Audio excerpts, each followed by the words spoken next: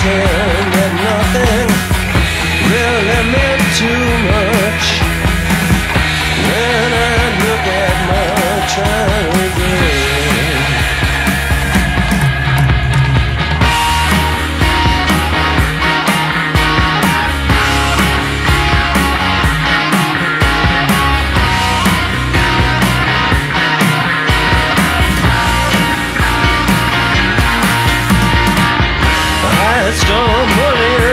town just like a sick